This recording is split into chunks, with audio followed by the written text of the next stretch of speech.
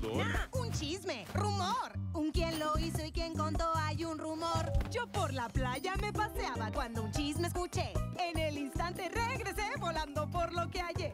Te vas a acordar de cuando canté en el manglar, así como guam, chica guam, guam, chica guam. Sí, guam. me acuerdo. Pues desde ahí, el tipo del peinado raro y peculiar. El príncipe. Justo él, el príncipe aquel, él quiere. ¿Ves cuando todos visten bien cual pingüinos? Y vuelan palomas y con arroz las engordan. No son leyendas urbanas, conozco a tres palomas muy gordas. Tú.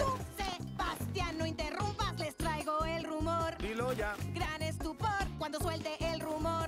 Ok, acérquense y cálmense. De la caballeriza al corral, cazadores y damas igual. Murmullos por todo el palacio, el príncipe Eric se va a declarar. ¿Qué? Que hay alguien que al fin conoció, que así de la nada escogió. ¿Quién? Me llenas de estrés, ¿ves? Apuesto es la chica dos pies. No. Oh, sí, puede pasar. Es muy normal. Nuestra pequeña es muy buen material. Ve trayendo el arroz, el vestido y el ¿cómo se llama?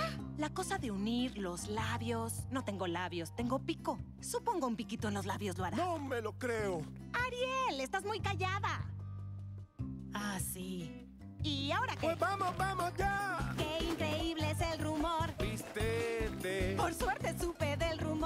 Debemos estar listos al atardecer. sabroso es el rumor. ¿Qué rumor? ¡Hey! Oh, por favor, que hoy sea el día. Pues vamos, vamos, ¡Vamos ya. Sabemos del chisme, rumor.